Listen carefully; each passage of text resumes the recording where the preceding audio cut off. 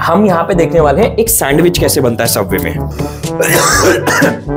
तो अब यहाँ पे रेड बुल ने क्या, दीपेंद्र गोयल जो कि जोमैटो के फाउंडर एंड सीईओ है, उन्होंने कहा है, यानी कि एक आठ लाख करोड़ की कंपनी बन जाएँगे।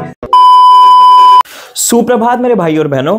तो यार, आज एक ही लेक्चर में कंप्लीट करेंगे चैप्टर फोर प्लानिंग और इसको पढ़ाने के लिए मैं हमेशा बहुत एक्साइटेड रहता हूँ, क्योंकि इस चैप्टर में ना बहुत प्यारी प्यारी केस स्टडीज़ लगती है। और हमेशा की तरह चैप्टर में प्रॉपर गहराई में जाऊँगा, हर चीज़ केस स्टडीज़ के थ्रू समझाऊँगा, ताकि जैसे मैं श्रीराम कॉलेज ऑफ़ कॉमर्स पहुँच पाया था, तुम भी एस इंडिया के टॉप कॉलेज पहुँच पाओ। और अपना नारा है एनसीआरटी है खास, बाकी सब बकवास बोर्ड या सीयूटी एनसीआरटी की लैंग्वेज से ही क्वेश्चन आते हैं। और लास्ट चीज़ टेलीग्राम ग्रुप बना दिया है नीचे बीएससी 75 पर, मेरे से इंटरेक्ट करने के लिए, सारा मटेरियल पाने के लिए, जो रिक्वायर्ड है तगड़े नंबर लाने के लिए फुल मार्क्स लाने के लिए, और डेली कैश प्राइस क्वेश्चंस के लिए, जाके फटाफट ज्वाइन कर लो। तो भाई, यहाँ पे अब लगेगा कट मैं आऊँगा नए कपड़ों में लेट स्टार्ट फटाफट स्टार्ट करते हैं प्लानिंग की डेफिनेशन क्या है? पर उससे पहले ना एक तुम्हें बड़ा प्यारा सा एग्जांपल देता हूँ। देखो रेडबुल जब एक नई नई कंपनी स्टार्ट हुई थी यूरोप में, ठीक है, इनके फाउंडर को एक बड़ी तगड़ी प्रॉब्लम आई थी। आज तो रेडबुल लाखों करोड़ की कंपनी है बट जब इनके फाउंडर ने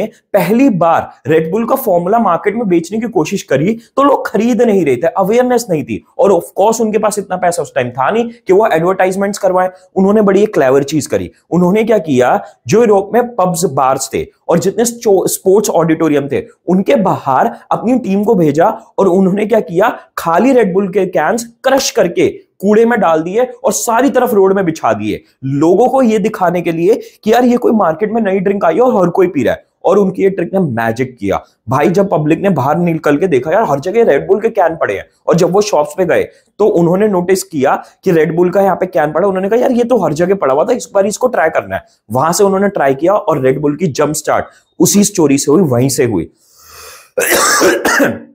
तो अब यहाँ पे रेडबुल ने क्या प्लान किया कि भाई मुझे अपने रेवेन्यूज बढ़ाने मुझे मार्केट में स्टैब्लिश होना है सेल्स करनी है तो उन्होंने उस चीज़ को एक रियलिटी बनाने के लिए बहुत ही बढ़िया अपना एक फॉर्मूला निकाला और इसके थ्रू मार्केट में सक्सेसफुली स्टार्ट हुआ और उसके बाद तो रेस्ट हिस्ट्री आज रेडबुल कई लाख करोड़ की कंपनी है। ठीक है, अब क्या है? Planning is deciding in advance यहाँ पे इंपॉर्टेंट दो तीन वर्ड है एडवांस पहले हम एडवांस में डिसाइड करते क्या व्हाट टू डू कि हमें क्या करना है and how to do it क्या करना है और कैसे करना है? रेड बुल का एग्जांपल हमने देख ही लिया कि उसने डिसाइड किया व्हाट टू डू यानी कि सेल्स बढ़ानी है उन्होंने डिसाइड किया और हाउ टू डू इट उन्होंने कहा क्रश कैन डाल देते हैं हर जगह. ठीक, अब इसके बाद इंपॉर्टेंट एक और line planning is closely connected with creativity and innovation planning creativity और इनोवेशन से बहुत ज़्यादा क्लोजली रिलेट करती है। अब तुमने एग्जांपल देख ही लिया यार रेडबुल का, कि उनके पास पैसे नहीं थे ऐड करवाने के तो उन्होंने कितनी क्रिएटिवली अपनी मार्केटिंग कर दी भाई लोगों में। ठीक planning seeks to bridge the gap between where we are and where we want to go मतलब प्लानिंग एक ब्रिज बना ब्रिज बना देता है कि हम जहाँ पे हैं और हमें जहाँ पे जाना है, उसके बीच का ब्रिज बना के देता है प्लानिंग ठीक है? तो अगर आपका प्लानिंग की आए डेफिनेशन एग्ज़ाम में मांगने को तो ये सारी लाइन ज़रूर लिखनी है। अब देखो, यहाँ पे एक एक्चुअल डेफिनेशन भी दे रखी है प्लानिंग की। पर मज़े की बात तुम्हें मैं बताऊँगा, पढ़ाऊँगा बिल्कुल अलग तरीके से, जो तुम्हें पढ़ाया नहीं गया है। अभी ना, हम ना इस डेफिनेशन में मत्था मारेंगे, ना अभी हम इंपॉर्टेंस ऑफ़ प्लानिंग में मत्था मारेंगे, ना अभी हम फीचर्स ऑफ़ प्लानिंग में मत्था मारेंगे। हम कहा चलेंगे? हम चलेंगे सीधा हमारे प्लानिंग प्रोसेस की तरफ़। क्योंकि अगर आपने एक बारी प्लानिंग प्रोसेस सीख लिया ना तो आपके लिए भाई सब ये सब चीज़ें सीखना ना बिल्कुल सेकंडों का काम होगा, ठीक है? हम गलत पढ़ते हैं हमेशा, हम पहले ये सब सीखने लगते हैं प्लानिंग प्लानिंग प्रोसेस को सब समझ में आ जाएगा। अब सुनो मेरी बहुत ध्यान से बात, यहाँ पे एक और इंटरेस्टिंग चीज़, आप भूल जाओ बिज़नेस स्टडीज़ पढ़ रहे हो, आप भूल जाओ, मैं तुम्हें धंधा या ये सब कुछ एग्ज़ाम पॉइंट ऑफ़ व्यू से सिखा रहा हूँ। तुम सोचो, तुम एक क्लास ट्वेल्थ के बच्चे हो, तुम्हें ये डिसाइड करना है कि तुम्हें ट्वेल्थ के बाद अपने करियर में, अपने फ्यूचर में क्या करना है, ठीक? भाई उसको दिमाग में रखते हुए मैं सातों स्टेप्स पढ़ाऊँगा अभी सिर्फ़ हेडिंग्स पढ़ाऊँगा। ठीक है? पहले ये रीडिंग करेंगे, तुम्हारा करियर डिसाइड करेंगे। इससे तुम्हें ये पूरा का पूरे सारे स्टेप्स भी समझ में आ जाएँगे, अपने करियर में क्या करना है। एक्चुअल यूजफुल स्टेप्स है, ऐसे ही करियर डिसाइड करना होता है, जो यहाँ पे सिखाया है।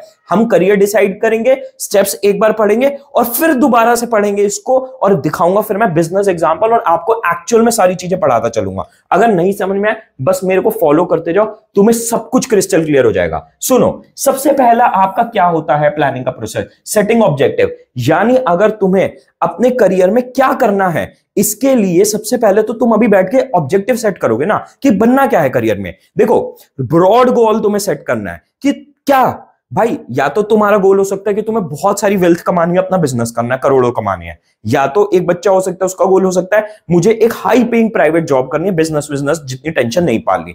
तीसरा बच्चा हो सकता है, मुझे एक सरकारी जॉब चाहिए, जहाँ पे पे कोई नहीं, ज़्यादा ना हो बट एक अच्छा वर्क लाइफ बैलेंस हो, ताकि मैं अपने फ्रेंड्स और फैमिली के साथ भी टाइम स्पेंड करूँ। एक चौथा बच्चा आता है, कहता मुझे ना पैसा चाहिए, ना मुझे कंफर्ट चाहिए, पर मुझे पावर चाहिए। तो मुझे आई ऑफिसर बनना है, या इनकम टैक्स डिपार्टमेंट बहुत ऊँचा बनना है राइट हर बंदे की अपनी अपनी विजन होती है गोल होता है। तो तुम्हें सबसे पहले अगर करियर प्लानिंग करनी है, ये डिसाइड करो अभी बैठ के कि चाहिए क्या लाइफ में? पैसा पावर कंफर्ट सिक्योरिटी क्या चाहिए? ये चीज़ हमें सबसे पहले डिसाइड करनी हो तो इसी चीज़ को हम डिसाइड नहीं करते। ठीक है? फिर हमारा सेकंड क्या होता है स्टेप कि हम डेवलपिंग प्रेमिसेस हम एजम्पन्स लगाते हैं फ्यूचर के बारे में कि क्या चीज़ें चेंज हो सकती हैं, जिससे कि इसका मतलब क्या प्रेमिसेस का? कि फ्यूचर में ऐसी क्या चीज़ें हो सकती हैं जो कि जो भी मैंने प्लान बनाया है, जो भी मैं डिसाइड करने वाला हूँ, उसको पॉजिटिवली या नेगेटिवली इंपैक्ट कर सकती है। फॉर एग्ज़ाम्पल आज की डेट में मैं ना इंडिया के major majority top college Delhi university के गया हूँ एज अ स्पीकर मैं जब भी जाके बच्चों से बात करता हूँ ना कॉमर्स के बच्चों की बात कर रहा हूँ, जो बी कॉम या बीबीए कर रहे होते हैं, उनमें से मेजोरिटी बच्चे भाई आज की डेट में एआई सीख रहे हैं प्रोग्रामिंग सीख रहे हैं एक्सेल सीख रहे हैं पावर बीआई सीख रहे हैं कॉमर्स के बच्चे क्यों सीख रहे हैं? मैं तुम्हें बताता हूँ, क्योंकि उन्होंने जब अपने प्लानिंग प्रेमिसेस उन्होंने फ्यूचर के बारे में एजम्पन लगाई, उन्होंने इस चीज़ को देखा कि एआई बहुत तगड़ा सीन चेंज करने वाला है। देखो, ये न्यूज़ आई थी रिसेंटली इस न्यूज़ में मैं तुम्हें मेन चीज़ दिखाता हूँ, क्या थी कि पेटीएम ने पेटीएम ने शायद में से हट गया एक सेकेंड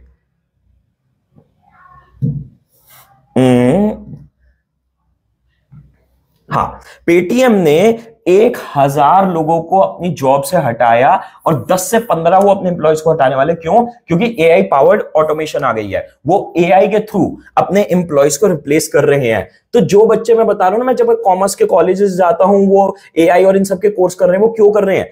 ताकि भाई फ्यूचर में ऐसा ना उनकी जॉब एआई खा जाए। ठीक? तो इस तरीके से हम फ्यूचर के बारे में अपने प्रेमिसेस भी सेट करते हैं कि क्या क्या हो सकता है और उसके हिसाब से हम अपने आप को प्रिपेयर करें, ठीक है?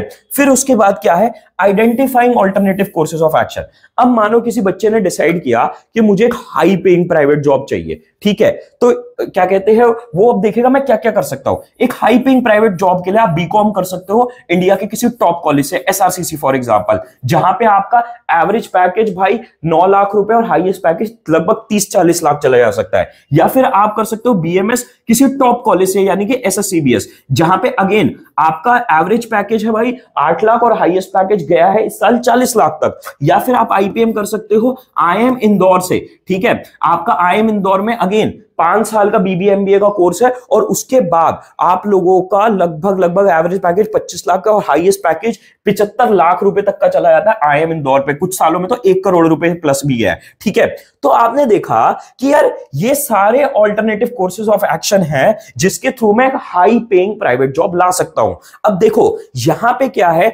आप पूछोगे कि भैया, यार कोई ऐसी वीडियो बता दो जिसमें कि मेरे को सारे करियर ऑप्शंस मिल जाए कॉमर्स के। तो भाई ये वाली वीडियो है, तुम्हें नीचे पिन कमेंट में लिंक दे दूँगा। इस वीडियो में मैंने सारे करियर ऑप्शंस दे रखे हैं कि आपकी पर्सनालिटी के अकॉर्डिंग कौन सा करियर ऑप्शन आप चूज़ कर सकते हो आफ्टर ट्वेल्थ ठीक है? अब क्या है? अब आपने देखा कि ये सारे करियर ऑप्शंस हैं। अब आप करोगे evaluating alternative courses of action यानी कि हर करियर ऑप्शन का आप प्रोज निकालोगे, फ़ायदे निकालोगे कॉन्स निकालोगे, नुकसान निकालोगे। जैसे कि अगर हम देखें हम देखें आईपीएम वाला करियर ऑप्शन वहाँ पे आपका प्रोस क्या है? कि भाई एवरेज पैकेज बीबी और एमबीए एक साथ कंप्लीट हो जाएगी पाँच साल में। एवरेज पैकेज लगभग पच्चीस लाख का है। बट फ़ीस कितनी है? फ़ीस हमारी लगभग चली जाती है पैंतीस लाख रुपए। हालाँकि किसी के पास जेब में नहीं होते, पर लोन लेना पड़ता है हर बच्चे को। अगर हम बात करें एसआरसीसी की बीकॉम करने की, ठीक है? ऑल आपकी फ़ीस साल की मात्र बीस पच्चीस हज़ार रुपए, आपका एवरेज पैकेज नौ लाख का है। पर कंपटीशन कितना भयंकर है, आपका ऑलमोस्ट सीट वहाँ पे हज़ार ही है। तो यानी हमें बहुत भयंकर कंपटीशन में लड़ना पड़ेगा। तो हम क्या करते हैं? हर ऑल्टरनेटिव कोर्स ऑफ़ एक्शन के फ़ायदे देखते नुकसान देखते फ़ायदे देखते हैं, नुकसान देखते हैं। और फिर उसके अकॉर्डिंग हम क्या करते हैं? एक लिस्ट बना लेते हैं। और फिर नेक्स्ट स्टेप में क्या करते हैं? Selecting the best alternative course of action फिर हम क्या करते हैं? जो भी हमने, पहले तो हमने आइडेंटिफाई किया था। फिर हमने उसके फ़ायदे नुकसान की लिस्ट बनाई थी और फिर हमने उसमें से सबसे बेस्ट ऑल्टरनेटिव सेलेक्ट किया था। फॉर एग्ज़ाम्पल किसी बच्चे ने, भाई बीकॉम निकाला बीएमएस निकाला सीए भी निकाला। तो उसने कहा कि, यार सीए में, मैंने प्रोज एंड फ़ायदे नुकसान निकाले बट निकालते हुए अब क्या किया मैंने? सीए को हटा दिया ऑप्शन को। क्यों हटा दिया? क्योंकि यार सीए जितना डिफ़िकल्ट कोर्स है और जितना लंबा कोर्स है, वो मेरे लिए नहीं है। ठीक है? मैं शायद अफोर्ड तो कर सकता हूँ, मेरी फैमिली अफोर्ड तो कर सकती है सीए का कोर्स पर मैं इतना पढ़ने में नहीं हूँ कि मैं इतना लंबा खींचू अपनी पढ़ाई को, ठीक है? एक तरफ़ कोई और बच्चा, एक स्टूडेंट बी है, वो कहता है कि यार आईपीएम जैसा कोर्स तो मैं अफोर्ड नहीं कर सकता सीए काफ़ी इनएक्सपेंसिव कोर्स है और बहुत अच्छा करियर है, बहुत अच्छी रिस्पेक्ट है तो मैं सीए की तरफ़ चला जाता हूँ। तो देखो, होता क्या है, हर इंसान, हर बच्चा अपनी फैमिली सिचुएशन के अकॉर्डिंग अपनी पढ़ाई की क्षमता के अकॉर्डिंग अपने मार्क्स के अकॉर्डिंग अपने इंटरेस्ट के अकॉर्डिंग अपना अपना जो उसने आइडेंटिफाई किए थे अलग अलग कोर्सेज ऑफ़ एक्शन उसके प्रोज एंड कॉन्स लिखे थे, उसके बेसिस पे वो फाइनल जो भी डिसीज़न लेना है, उसको लेता है। और अगर आपको अपना करियर डिसाइड करना है ना एग्जैक्ट यही स्टेप्स आपको फॉलो करने हैं। पहले आपको अपना ऑब्जेक्टिव क्लियर करना है लाइफ में क्या करना है, पैसा कमाना है पावर चाहिए एक्स वाई जेड फिर उसके बाद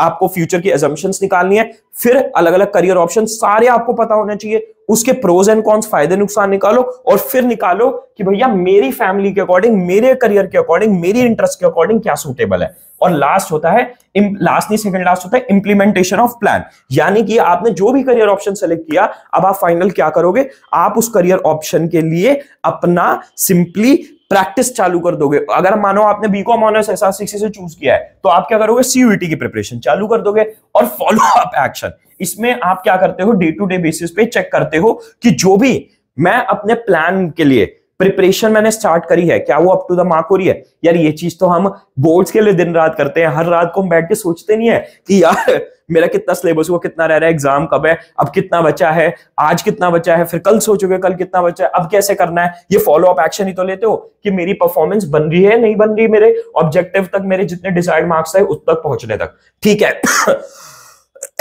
अब देखो, मैंने आपको एक करियर प्लानिंग के हिसाब से बता दिया। अब जरा देख लेते हैं बिज़नेस के पॉइंट ऑफ़ व्यू से। उसके लिए मैं केस स्टडी बताऊँगा और आपको एग्जैक्ट वर्ड्स मार्क कराऊँगा जो आपको लिखने हैं अपने एग्ज़ाम में। ठीक है? यस देखो, हमारे लिए यहाँ पे उसके लिए बड़ी इंटरेस्टिंग केस स्टडी है। दीपेंद्र गोयल जो कि जोमैटो के फाउंडर एंड सीईओ है, उन्होंने कहा है कि हम अगले पाँच सालों में अपने प्रॉफिट को दस गुना कर देंगे और सौ बिलियन डॉलर यानी कि एक आठ लाख करोड़ की कंपनी बन जाएँगे 2030 तक। ठीक है? अब देखो क्या है। भाई दीपेंद्र गोयल ने यह बात करके क्या सेट किया है? और प्लानिंग अपने अपने ऑब्जेक्टिव सेट करे हैं, ठीक है? The first and foremost objective is sorry step is setting objective तो उस बंदे ने क्या किया? आठ लाख करोड़ की कंपनी बनना है और टेन टाइम्स प्रॉफिटेबल होना है। Must have certain objective objectives may be set for the entire organisation and each department and unit within the organisation अब देखो, ये तो बहुत ऑब्वियस ही बात है ना, कि अगर भाई दीपेंद्र गोयल को अपनी कंपनी को टेन एक्स प्रॉफिटेबल बनाना अगर वो आज एज्यूम कर रहे हैं, एक करोड़ प्रॉफिट कमा रहे हैं तो उसको दस करोड़ प्रॉफिट में कन्वर्ट करना है तो सारे डिपार्टमेंट्स का भी तो अलग अलग ऑब्जेक्टिव सेट होगा कि भाई मार्केटिंग वालों का बजट रोका जाएगा, ठीक है? फाइनेंस वालों को कहा जाएगा कि भैया प्रॉफिट निकालो मार्केटिंग वालों को कम दो कूपन कम दो और ज़्यादा से ज़्यादा सेल लाओ, ठीक? तो इस तरीके से क्या है, हर डिपार्ट कंपनी का पूरा ऑब्जेक्टिव सेट हो गया, पर हर डिपार्टमेंट का भी अपना ऑब्जेक्टिव सेट होगा। फिर उसके बाद क्या होगा? डेवलपिंग प्रेमिसेस यानी कि वो एजम्पन करेंगे। अब यहाँ पे क्या लिखा है? Planning is concern with the future which is uncertain and every planner is using conjecture about what might happen in the future ठीक है? अब देखो प्लानिंग फ्यूचर से रिलेट करती है। तो फ्यूचर तो अनसर्टेन है ना। फ्यूचर में कुछ भी हो सकता है। तो हम क्या करते हैं, जो भी प्लानर होता है ना, वो कुछ ना कुछ कंजक्चर कुछ ना कुछ एजम्पन लेता है कि फ्यूचर में क्या होगा। Therefore the manager is required to make certain assumption about the future these assumption are called premises और इसी वजह से जो अनसर्टेनिटी होती है, उसको मैनेज करने के लिए हर मैनेजर कुछ एजम्पन करता है और उसे कहते हैं प्रेमिसेस अब देखो जोमैटो के केस में, भाई जोमैटो हर तरीके से, तुम्हें क्या लग रहा है? वो हर तरीके से चीज़ों को सोच के चल रहे होंगे। भाई कैसे? कि क्या कहते हैं, क्या पता सरकार आके कल को कह दे और इनफैक्ट ये तो अभी हुआ है, सरकार ने कहा डिलीवरी जो तुम चार्ज ले रहे हो कस्टमर से, उस पर भी जीएसटी मारो, पहले नहीं लेते थे।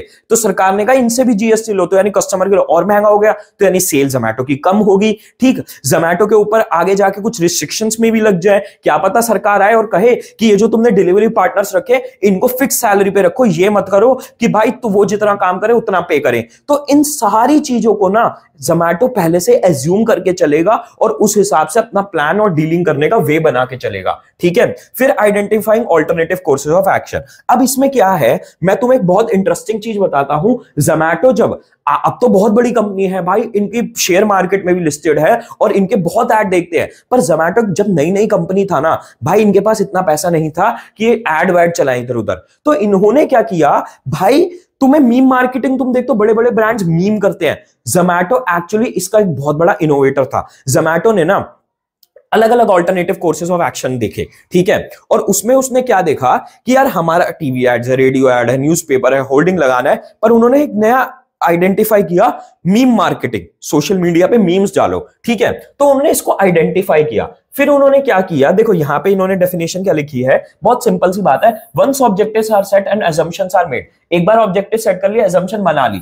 Then the next step would be to set up to act upon those sorry and the next step would be to act upon them. There may be many ways to act and achieve objective तो नम next step क्या है? कि भाई, अब हम जो भी ऑब्जेक्टिव हमने सेट किया, उनके लिए एक्शन ले। पर एक्शन लेने से पहले हमें यह भी तो देखना पड़ेगा कि कितने सारे रास्ते हो सकते हैं उस ऑब्जेक्टिव को कंप्लीट करने के लिए and alternative courses of action should be identified और हम इस स्टेप में क्या करते हैं? जितने भी ऑल्टरनेटिव कोर्स ऑफ़ एक्शन हो सकते हैं उस ऑब्जेक्टिव को अचीव करने के लिए उनको आइडेंटिफाई करते हैं, उनको लिख लेते हैं। फिर हम इस वाले स्टेप में क्या करते हैं? Evaluating the next step is to weigh pros and cons of each alternative यहाँ पे हम जितने भी ऑल्टरनेटिव है, हमारा न्यूज़पेपर है रेडियो है टीवी है मीम मार्केटिंग है, उन सबके हम फ़ायदे और नुकसान निकालेंगे। Each course will have many variables which have to be weigh against each other. हर तरीके के, हर रास्ते के अपने अपने वेरिएबल्स होंगे जिनको हमें मिलाना पड़ेगा। The positive and negative expect of each proposal need to be evaluate in light of the objective to be achieve और हर तरीके के अगेन वही बात रिपीट कर रखी है, हर तरीके के रास्ते का हमें पॉजिटिव और नेगेटिव निकालना पड़ेगा कि हमारे ऑब्जेक्टिव तक कौन सा रास्ता हमें पहुंचाएगा और कितना अच्छे से पहुंचाएगा। ठीक है? क्या क्या उसके फ़ायदे नुकसान होंगे? और फिर होगा selecting the alternative selecting the best alternative this is the real point of decision making ठीक है? The best plan has to be adopted and implemented the ideal plan of course would be most feasible profitable with least negative consequences अब यहाँ पे क्या है? हम यहाँ पे अब फाइनल जो हमने लिस्ट बनाई, उसके फ़ायदे नुकसान निकाले। अब यहाँ पे चूज़ करेंगे उस रस्ते को जो कि सबसे प्रॉफिटेबल हो, जो कि फीजेबल हो, और जो कि हमें सबसे ज़्यादा अच्छा आउटपुट ला के दे। अब देखो, मैं तुम्हें क्या बता रहा था? जोमैटो ने देखा कि भाई, हमारे साथ ये ये सारे हैं और तुमने अगर जोमैटो के मीम्स देखे हो, भाई क्रेजी होते क्रेजी देखो, ये मैं तुम्हें थोड़े बहुत दिखाता हूँ। दया दरवाज़ा खोल दो। Will be there with your order shortly ठीक? उसके बाद क्या है? उसके बाद क्या है? उसके बाद हमारा एक ये वाला है। ऊँची है बिल्डिंग लिफ्ट तेरी बंद है। विल स्टिल डिलीवर क्विकली भाई, ये तो बहुत छोटे छोटे से एग्जाम्पल्स नहीं है, पर जोमैटो को मीम मार्केटिंग का पाइनियर माना जाता है पाइनियर क्यों? भाई, इन्होंने इतने कम पैसे में अपनी कंपनी की इतनी भयंकर मार्केटिंग करी है ना, तुम सोच भी नहीं सकते। तो इन्होंने क्या किया? इन्होंने सेलेक्ट किया कि भाई स्टार्टिंग में स्टार्टिंग डेज़ में कि टीवी रेडियो सब गया भाड़ में, हम करेंगे मीम मार्केटिंग और फिर इन्होंने इंप्लीमेंटिंग द प्लान यानी this is the step where the other manager and function are function also come into the picture the step is concern with putting the plan into action ठीक है? ये वो step है जहाँ पे plan को हम एक्शन में डालना चालू कर देते हैं और दूसरे मैनेजर्स या फिर अदर जो भी फ़ंक्शंस होते हैं मैनेजमेंट वो आना चालू हो जाते हैं। अब फॉर एग्जांपल मार्केटिंग टीम ने कहा कि भाई हम रेडियो टीवी कुछ नहीं करेंगे, हम क्या करेंगे? हम करेंगे अपना मीम मार्केटिंग अब पर पीआर टीम भी घुसेगी इसमें, क्योंकि पीआर टीम का पीआर के बारे में आगे चैप्टर्स में पढ़ेंगे पीआर टीम का ये भी होता है भाई, मकसद मेक श्योर करना कि हम कोई ऐसा मीम ना डाल दे जिससे कोई नेगेटिव कॉन्ट्रोवर्सी हो जाए हमारे खिलाफ। और जोमेटो के साथ एक्चुअली बहुत बारी हो चुका है। और मीम मार्केटिंग ना एक डबल एच स्वॉर्ड है। कहीं मीम ज़्यादा डैंक हो गया ना तो भाई बहुत तगड़ा बैकलैश मिलता है और ये तो बहुत कंपनीज़ के साथ हो भी चुका है, ठीक है? और लास्ट में क्या करते हैं follow up action to see whether the plans are being implemented and activities are perform according to schedule is part of the planning process यहाँ पे क्या देखते हैं कि भाई, जो भी हमने प्लान्स बनाए हैं वो ढंग से इंप्लीमेंट हो रहे हैं, ठीक है? उसके बाद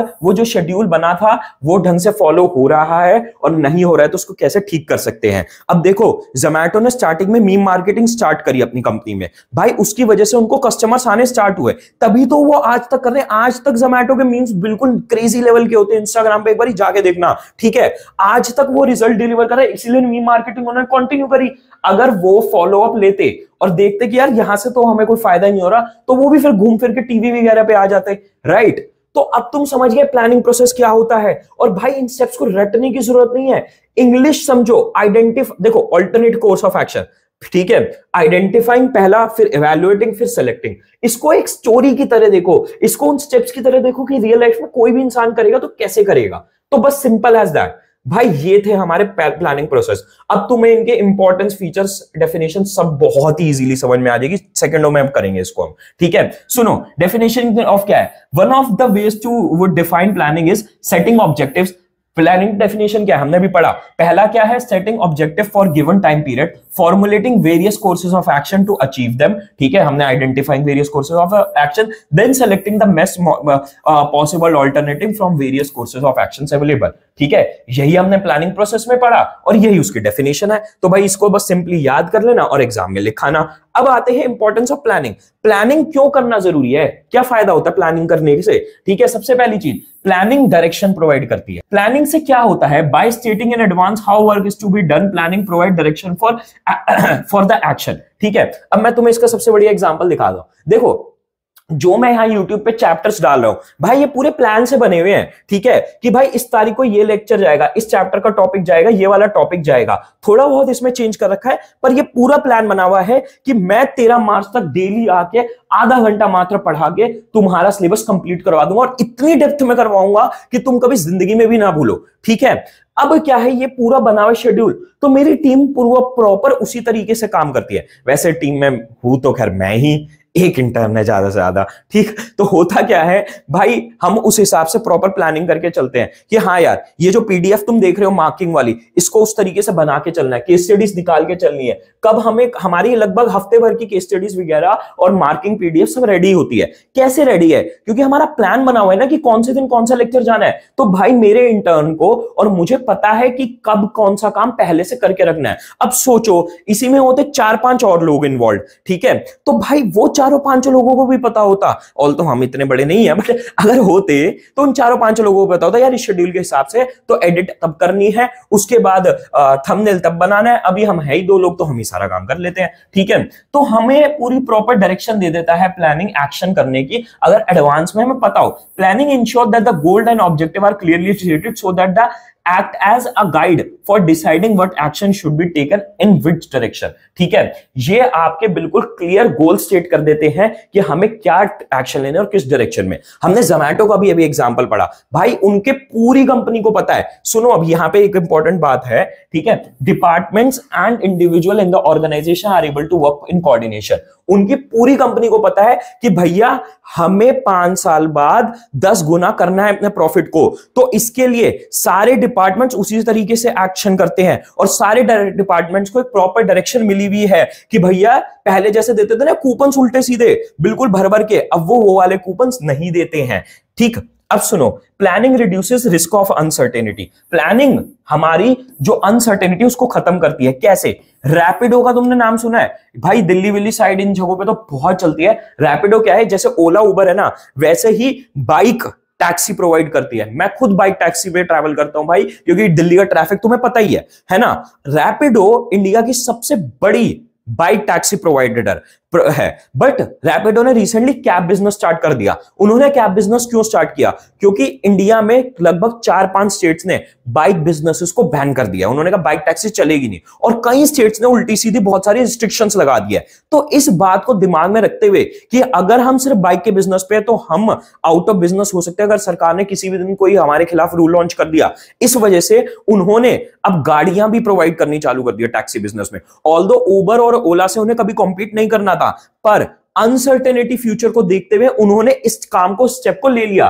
क्यों? Planning is an activity which enables a manager to look ahead and anticipate changes ठीक है? अब उनके जो मैनेजर्स हैं रैपिडो के, उन्होंने देखा कि भाई, ये चीज़ें दो चार स्टेट में हो गई, क्या पता पूरी कंट्री में ना हो जाए। और उस तरीके से उन्होंने अपनी कैब लॉन्च करके अपनी अनसर्टेनिटी को जो नुकसान हो सकते हैं, उनको, उन्होंने कम कर दिया, ठीक है? By deciding in advance task to be perform and planning shows the way to deal with changes and uncertain events ठीक है? चलो नेक्स्ट क्या है? Planning reduces overlapping and wasteful resources ठीक है?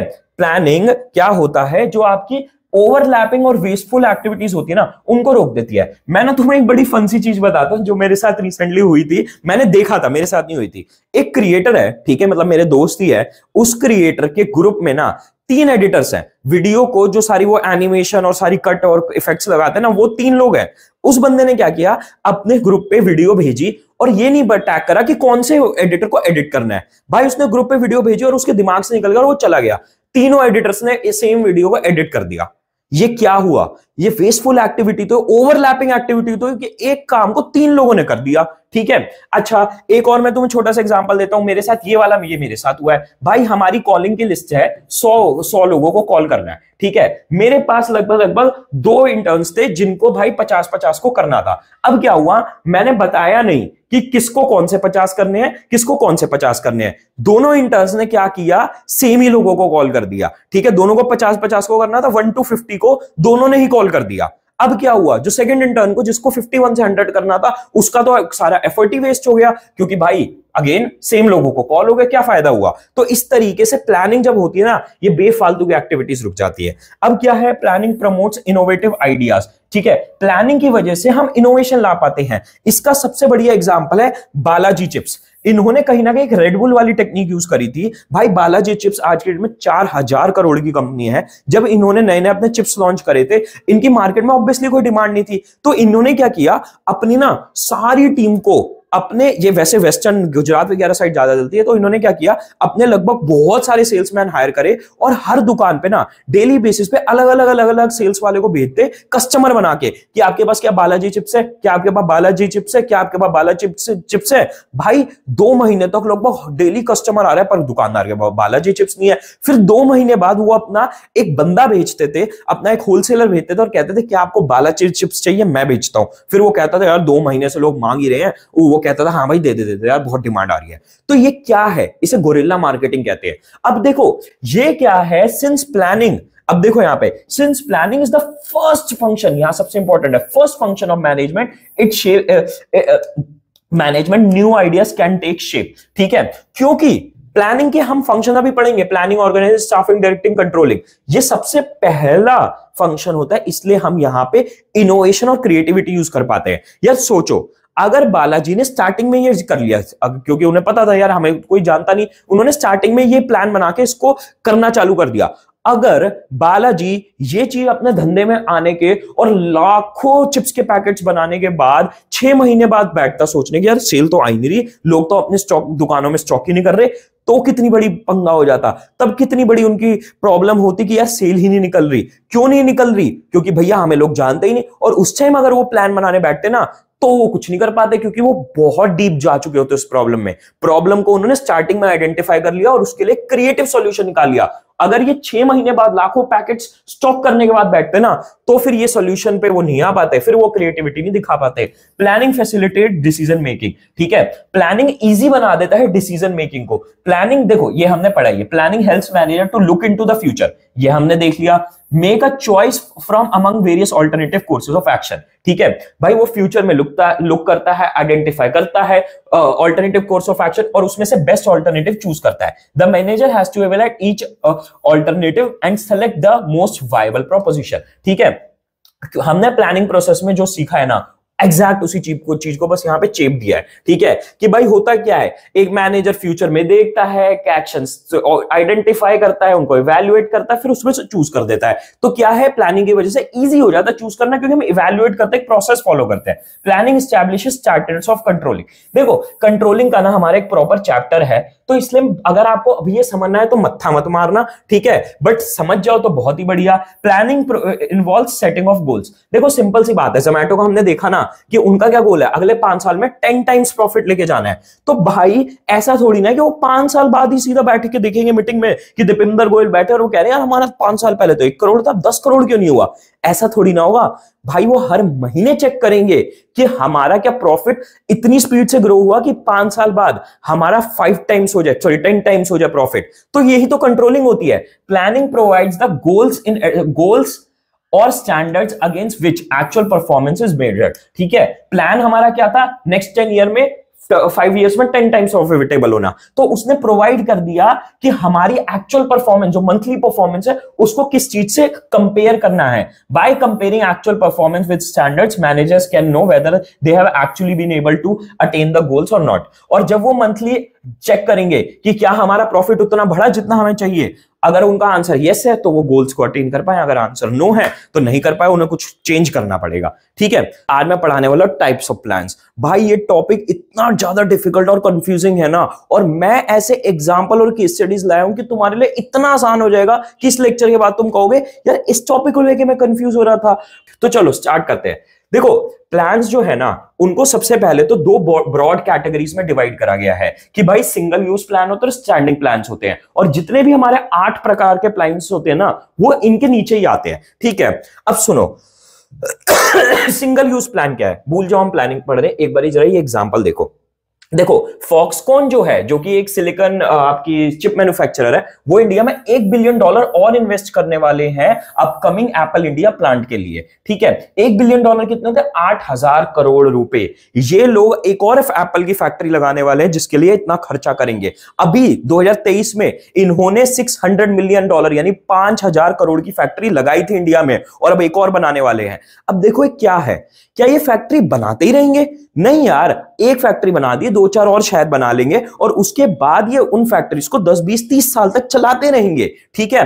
फैक्ट्री का भाई पूरा मैप बनेगा कंस्ट्रक्शन कंपनी डिसाइड होगी क्वालिटी डिसाइड होगी क्या क्या मटेरियल की लगेगी बट ये क्या है? एक सिंगल यूज़ प्लान है। A single use plan is develop for one time event or project एक टाइम के इवेंट या प्रोजेक्ट के लिए बनता है such a course of action is not likely to be repeated that is there are non occurring in nature non recurring in nature ठीक है? ये बार बार नहीं होगा, ठीक है? The duration of this plan में depend on type of project project के ऊपर होता है कि ये जो प्लान है, ये एक वीक का होगा, एक मंथ का होगा ईयर्स का होगा या एक सिंगल डे का होगा? क्योंकि आपका एक सेमिनार कराना भी एक सिंगल यूज़ प्लान है, ठीक? आपका एक ऑफ़िस का पेंट करवाना भी सिंगल यूज़ प्लान है। पर ये प्रोजेक्ट के ऊपर है, वो कितना बड़ा होगा? These plan include budget programmes project ठीक है? देखो, मैंने क्या बोला? हमारी दो ब्रॉड कैटेगरी है। देखो ये टाइप्स ऑफ़ प्लान है, उसके नीचे हमारी दो ब्रॉड कैटेगरी है, एक सिंगल यूज़ प्लान और एक है स्टैंडिंग प्लान ठीक है?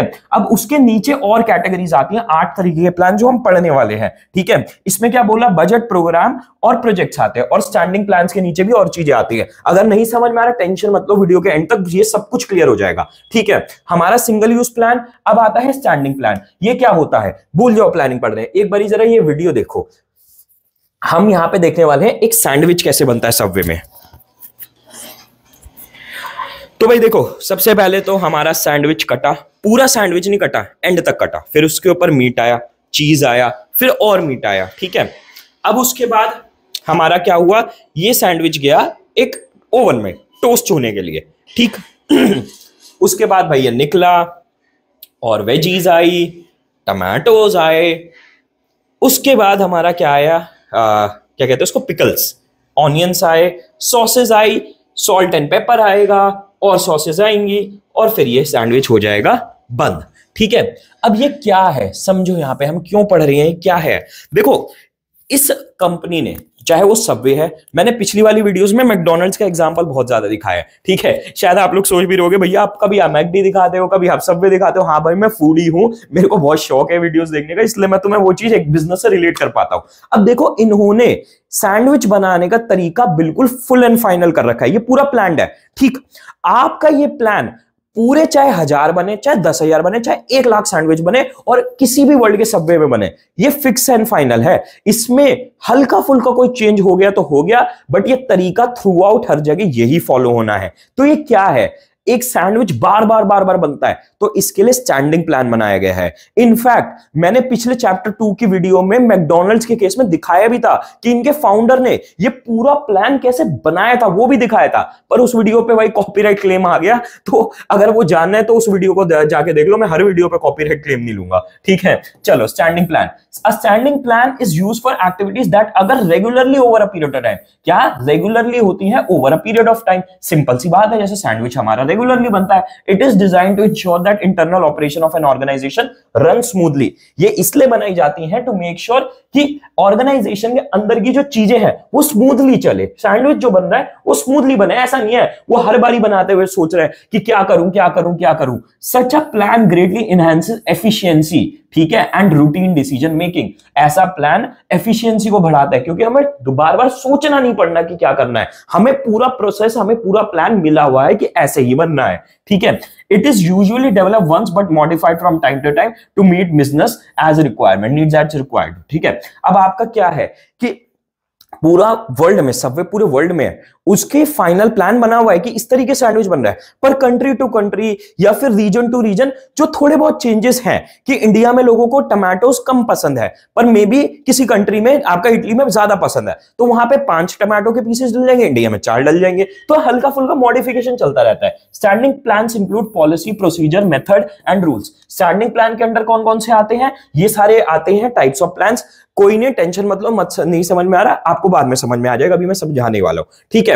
अच्छा अब मैंने ना तुमसे अभी तक एक बात झूठ बोली थी। मैंने बोला था, हम एट टाइप्स ऑफ़ प्लान्स पढ़ने वाले हैं, जो भी हम पढ़ना स्टार्ट करेंगे।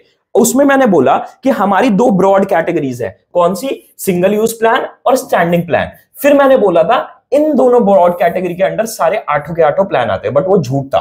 एक्चुअली क्या है, आपके स्ट्रैटेजी और ऑब्जेक्टिव्स ये दो टाइप ऑफ़ प्लान है, ये दो ऐसे प्लान है जो ना सिंगल यूज़ में आते हैं, ना स्टैंडिंग में आते हैं। बाकी छह जो प्लान है, वो आते हैं सिंगल यूज़ और स्टैंडिंग में।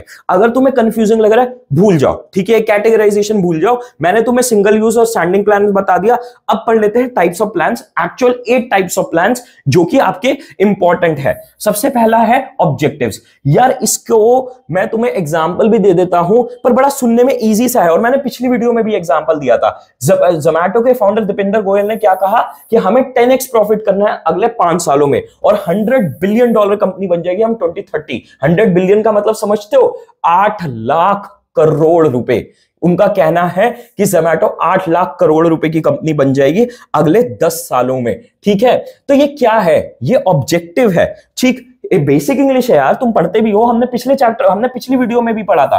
The first step of planning is setting objective ठीक है? प्लानिंग प्रोसेस में भी देखा था। सबसे पहला स्टेप क्या है? ऑब्जेक्टिव सेट करना। Objective therefore can be set to be the desired future situation which management would like to reach हमारा अगेन ये भी हमारा डेफिनेशन ऑफ़ प्लानिंग में ही आता है। ठीक? कि भाई, एक डिजायर्ड फ्यूचर की सिचुएशन जहाँ पे मैनेजमेंट पहुँचना चाहती है। अब सुनो, अगर ऑब्जेक्टिव के अराउंड चीज़ें आई तो तुमने वो जो अभी मैंने पढ़ाया मार्क कराया, वो तो लिखना ही है, ये भी लिखना चाहिए। Objective simply stated is what you would like to achieve that is the end result of activities ठीक है? अगेन वही वाली बात जो प्लानिंग की डेफिनेशन थी, उसको रिपीट किया हुआ है कि तुम्हें क्या चाहिए एंड रिज़ल्ट में। They are usually set by top management of the organisation ठीक है? याद रखना, कौन से type of plan top management set करती है? ऑब्जेक्टिव ठीक है?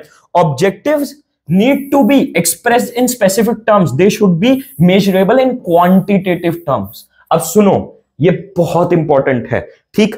आपके किसी भी चीज़ को मेजर करने के ना दो तरीके होते हैं। क्वांटिटेटिव जो यहाँ पे है, और एक होता है क्वालिटेटिव क्वांटिटेटिव टर्म्स का मतलब होता है जब हम नंबर में एक्सप्रेस करते हैं। दीपेंद्र गोयल ने बोला, हमारी कंपनी बनेगी 100 बिलियन 8 लाख करोड़ की 2030 तक। ये नंबर की बात हो रही है। ऑब्जेक्टिव हमेशा नंबर में होता है। दीपेंद्र अगर ये कहते कि 2030 तक हमारी कंपनी बहुत बड़ी कंपनी बन जाएगी ये ऑब्जेक्टिव नहीं है, ये क्वालिटेटिव मेथड हुआ, बहुत बड़ी, कितनी बड़ी, क्या होता है बहुत बड़ी? बिज़नेस में, आज तुम बिज़नेस सीख रहे हो, कल को जाके मैनेजमेंट करोगे कॉमर्स करोगे, याद रखना, ये साइंस के बच्चे नहीं हो, तुम कॉमर्स के बच्चे हो। तुम्हें यह समझना ज़रूरी है कि हमेशा कॉमर्स का बच्चा क्वांटिटेटिव टर्म्स में बात करता है नंबर्स में बात करता है क्वालिटेटिव टर्म्स में नहीं बात करता है, ठीक है? अब सुनो ऑब्जेक्टिव पढ़ लिया, अब स्ट्रैटेजी क्या होती है? स्ट्रैटेजी कहीं ना कहीं थोड़ा सा इसको ऑब्जेक्टिव से रिलेट करके चलना, ठीक है? A strategy provides broad contours ठीक है टू एन ऑर्गेनाइजेशन बिज़नेस मतलब क्या है? एक ऑब्जेक्टिव ना कॉन्टर्स का क्या मतलब होता है? मैं क्या कहता हूँ? पहले आप इंग्लिश सीखो बिज़नेस स्टडी से पहले। इसका क्या मतलब होता है? एक ब्रॉड गाइडलाइन एक जैसे मैप होता है ना, उसमें एक डायरेक्शन दी जाती है कि हाँ भाई, इस एरिया से इस एरिया तक इस स्ट्रेट लाइन में पहुँचना है। बट ऑफकोर्स उसमें बहुत सारी और भी छोटी छोटी बारीकियाँ होती हैं जो हम ट्रैवलिंग करते हुए डिसाइड करते हैं। तो एक स्ट्रैटेजी ना, बस हमारे ऑब्जेक्टिव के बेस पे बताती है कि हम इस तरीके से यहाँ पहुँच जाएँगे जहाँ हमें पहुँचना है। ठीक है? अब सुनो, एक तुम्हें बहुत ही प्यारी वीडियो दिखाता हूँ अगेन इस कॉन्सेप्ट को समझाने के लिए।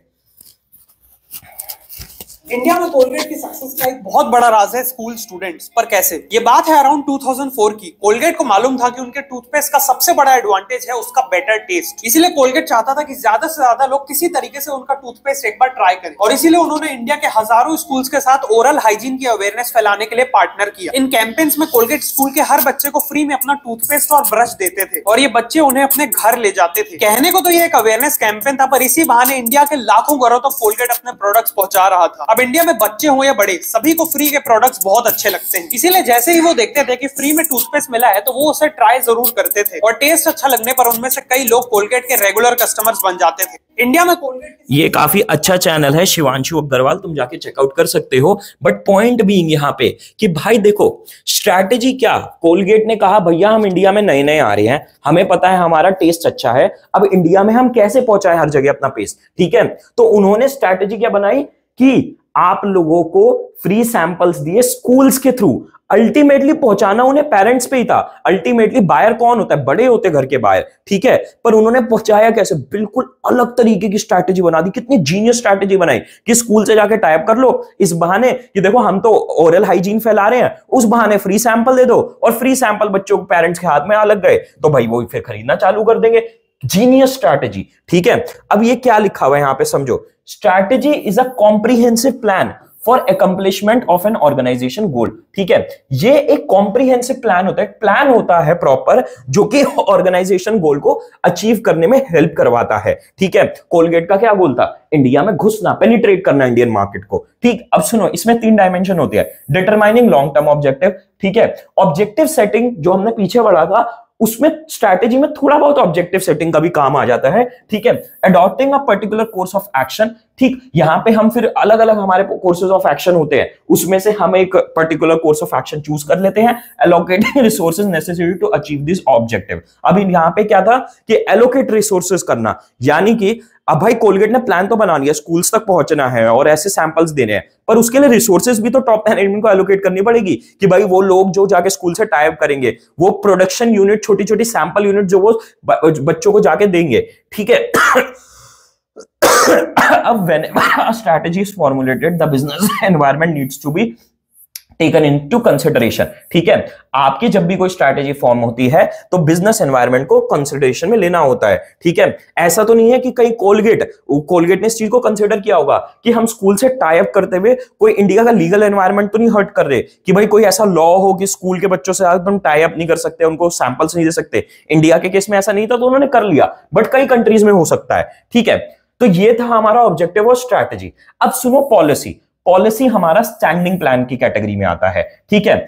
अगर तुम्हें ये याद करना है, कर लो, नहीं करना छोड़ देना. ठीक है? पर पॉलिसी पढ़ लेते हैं. पॉलिसी क्या है? Policy are general statement that guide thinking और channelise energy towards a particular direction तुम छोड़ो मेरी बात। ये सारी बातें छोड़ो तुम्हें एक इंटरेस्टिंग चीज़ दिखाता हूँ। देखो, Amazon से ना, ये देख रहे हो जो मैं माइक यूज़ कर रहा हूँ, ये मैंने Amazon से मंगाया था बोया का फोर गीगा का काफ़ी अच्छा माइक है मतलब स्पॉन्सरशिप वॉन्सरशिप नहीं, पर तुम्हें जेनवन चीज़ दिखा रहा हूँ। अब देखो, यहाँ पे पॉलिसी क्या है? सेवन डेज़ रिप्लेसमेंट पॉलिसी है। रिटर्न पॉलिसी नहीं है। यानी कि अगर माइक मेरे पास आता है तो इसको मेरे को अगर ये पसंद नहीं आता तो मैं इसे रिटर्न नहीं कर सकता था। ठीक है? ये पॉलिसी है। पॉलिसी का मतलब क्या होता है कि एक जनरल डायरेक्शन है कस्टमर्स को भी कि भैया देखो प्रोडक्ट आया रिप्लेस कर देंगे, खराब निकला रिटर्न नहीं होगा अगर पसंद नहीं आया। और ये पॉलिसी सारे इंटरनल कस्टमर केयर इंप्लॉइज को भी पता है कि भाई रिटर्न नहीं करेंगे, हम आपकी रिप्लेसमेंट दे देंगे। बट मैं तुम्हें बताता हूँ, एक मेरी बेवकूफ़ी क्या हुई? मैंने माइक मंगवा लिया था, पर मैंने जो सबसे पहला माइक मंगाया था, वो एप्पल का मंगवाया। ठीक, मैंने फिर कस्टमर केयर को कॉल करेगा, सर, मैंने तो यार गलती से मंगा लिया प्लीज़ इसका कुछ करो। तो उन्होंने क्या कहा कि, सर, देखो, हम रिटर्न तो नहीं कर सकते, पर क्योंकि आप हमारे वैल्यूएबल कस्टमर हो, क्योंकि मैंने प्राइम भी ले रखा है। मैं ये वाला अकाउंट अपना चार पाँच छह साल से यूज़ कर रहा हूँ तो उन्होंने कहा, सर, आपके लिए रिटर्न कर देंगे। ठीक है? उन्होंने रिटर्न किया, मैंने नया प्लेस ऑर्डर किया। हालाँकि मैं इतना बेवकूफ़ हूँ मेरी बेवकूफ़ी छोड़ो, मैंने दोबारा एप्पल का मंगाया, फिर मैंने उनको दोबारा हाथ पैर जोड़े, फिर उन्होंने मेरा दोबारा रिटर्न करा। ठीक है? बट पॉइंट बीइंग पॉलिसी क्या है? देखो, अगर मैं उनका बहुत साल पुराना कस्टमर नहीं होता, या मानो मेरे अकाउंट नया नया अकाउंट होता, और मैं दो तीन रिटर्न पहले भी कर चुका होता तो साफ़ मना कर देते। ठीक है? तो पॉलिसी क्या होता है? एक जनरल गाइडलाइन होती है कि सर, यही चीज़ होती है हमारे। But depending upon the situation managers को वर्कर्स को अलाउड होता है कि एक्सेप्शन बनाना, या चीज़ों को देखना। ठीक है? तो यही बात हुई है। General statement that general statement that guide that guide thinking और channelize energy towards a particular direction ठीक है, ये एक जनरल स्टेटमेंट है जहाँ पे हर इंप्लॉय इस तरीके से सोचता है कि भाई कस्टमर को मोटा मोटा रिटर्न के लिए तो मना करना ही करना है। ठीक है, अब they are guides to managerial action and decision in implementation of a strategy ठीक है, अब अमेजोन को अपनी इनकी स्ट्रेटेजी क्या थी? देखो, पहले तो हर जगह रिटर्न अलाउ कर देते थे, पर इनके साथ फ्रॉड होने लग गए। तो इन्होंने स्ट्रेटेजी क्या बनाई? कि भैया फ्रॉड रोकने हैं। उन फ्रॉड को रोकने के लिए इन्होंने पॉलिसी निकाली कि भाई इलेक्ट्रॉनिक आइटम पे नो रिटर्न रहेगा। There are policies for all levels and department in an organization ठीक है? चाहे कोई भी लेवल का हो, कोई भी डिपार्टमेंट हो, हर किसी की पॉलिसी होती है from major company policy to minor policies छोटी भी होती है, बड़ी भी होती है। मैंने तो तुम्हें एक नो रिटर्न पॉलिसी का छोटा सा एग्ज़ाम्पल दिखा दिया, पर हर कंपनी में भाई हायरिंग की भी पॉलिसी होती है फायरिंग की भी पॉलिसी होती है। अगर कोई इंप्लॉय कुछ गलत करता है, उसकी भी पॉलिसी होती है, ठीक है? उसके अलावा मैन्युफैक्चरिंग की भी पॉलिसी होती है सेफ्टी की भी पॉलिसी होती है तो छोटे से बड़े लेवल पे हर जगह पॉलिसीज़ होती है, ठीक है? Policies define the broad parameters important है। ब्रॉड पैरामीटर्स बताते हैं within which manager may function the manager may use her discretion to interpret and apply the policy देखो, हमारी बिज़नेस स्टडीज़ में दिक्कत क्या होती है? हमें इंग्लिश नहीं आती इंग्लिश आ जाए तो बहुत बढ़िया है। डिस्क्रिप्शन का क्या मतलब होता है? अपनी समझ। इंटरप्रेट का क्या मतलब होता है? उस समझ से किसी चीज़ को समझना कि क्या लिखा हुआ है, ठीक है? तो यहाँ पे सिंपली क्या बोली हुई है? पॉलिसी एक जनरल आपके पैरामीटर्स ब्रॉड पैरामीटर्स देते हैं। फिर उसके बाद मैनेजर के ऊपर होता है कि वो क्या डिसीज़न ले, ठीक है? अब सुनो पॉलिसी समझ लिया, पर पॉलिसी के बाद ना एनसीआरटी ने गलती कर रखी है प्रोसीजर और मेथड दे रखा है। पॉलिसी के बाद इन्हें सीधा रूल देना चाहिए था, क्योंकि रूल पॉलिसी से काफ़ी अच्छा रिलेट करता है। तो हमारा क्या पढ़ा हमने? ऑब्जेक्टिव और स्ट्रैटेजी पढ़ा। वो दोनों थोड़ा थोड़ा रिलेट करते हैं। अब क्या है? पॉलिसी और रूल करता है। रूल क्या होता है? सुनो मेरी बात। हर कंपनी में ना एक ज़ीरो टॉलरेंस रूल होते हैं। ठीक है? मतलब अगर इसके अगेंस्ट ये कुछ हुआ तो इसके अगेंस्ट कोई भी एक्सेप्शन नहीं है। रूल क्या होते हैं? वो यस और नो होते हैं। अगर रूल फॉलो हो रहा है तो ठीक है। अगर रूल ब्रेक हुआ है तो उसमें किसी मैनेजर को कुछ इंटरप्रेट करने की भाई अलाउड नहीं होता।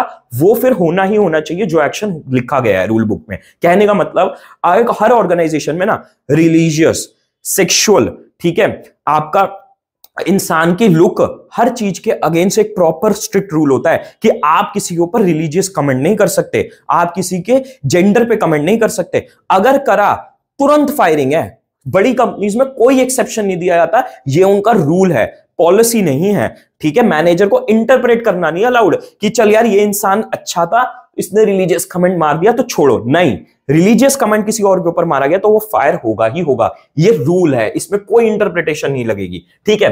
Rules are specific statement that inform what is to be done specific statement होती जो बताती क्या होना चाहिए। दे डू नॉट सुनो ये बात सबसे important they do not allow for any flexibility flexibility और डिस्क्रिप्शन इसमें ना किसी को अपनी समझ लगानी है, ना कोई एक्सेप्शन बनाना ये होना ही है। It reflects a manager decision a certain action must or must not be taken must or must not be taken ये बताता है मैनेजर को कि क्या डिसीज़न लेना है या नहीं लेना है। इसकी कोई एक्सेप्शन नहीं है। अगर ये हुआ है तो ये लेना ही पड़ेगा डिसीज़न अगर नहीं हुआ है तो नहीं लेना। ठीक है? Simplest type of plans because अच्छा अगर आपसे क्वेश्चन कहीं आ जाए कि सबसे सिंपल टाइप ऑफ़ प्लान कौन सा होता है? वो होता है रूल क्यों होता है रूल यार? क्योंकि मैनेजर को इसमें दिमाग नहीं लगाना. अगर किसी ने रूल ब्रेक किया तो एक्शन लो, नहीं किया तो चलने दो. ठीक है? तो रूल होता है ये.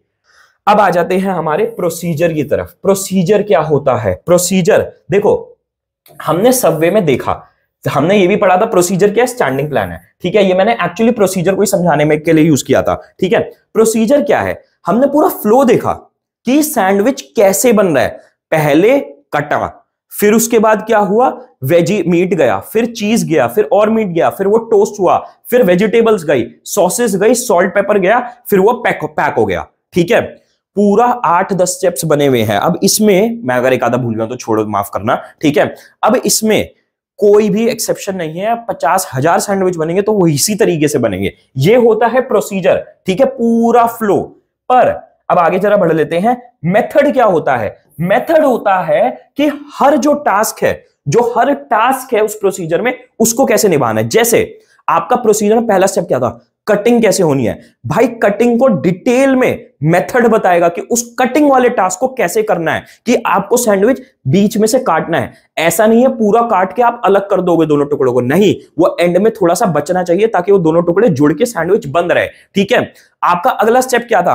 मीट डालना है। मीट के कितने पीसेस डालने वो मेथड बताएगा। प्रोसीजर ने तो सिर्फ़ स्टेप्स बता दिए। हर स्टेप को डिटेल करेगा मेथड कि हाँ भाई मीट डालने के टास्क में कितनी कितना मीट डालना है, कितनी क्वांटिटी में डालना है। फिर अगला क्या था? टोस्ट होना है। तो मेथड बताएगा, कितनी देर टोस्ट होना है, कैसे रखना है, किस शीट के ऊपर रखना है। ये सारी जो डिटेलिंग है प्रोसीजर के हर टास्क के ऊपर मेथड देता है। ठीक है? अब सुनो इस बात को दिमाग में रखते हुए। Procedure are routine step on how to carry out activities ठीक है? कोई एक्टिविटी सैंडविच बनाना, उसके प्रॉपर वो स्टेप्स बताता है कि क्या क्या करने हैं। They detail the exact manner in which any work is to be perform they are specified in chronological order ठीक है? याद है ना? क्रोनोलॉजी समझ रहे हो? ये क्या है? कंफ्यूज मत होना। ये बताते हैं exact manner work to be किस एग्जैक्ट मैनर वर्क परफॉर्म होना है? क्रोनोलॉजिकल ऑर्डर में। ठीक है?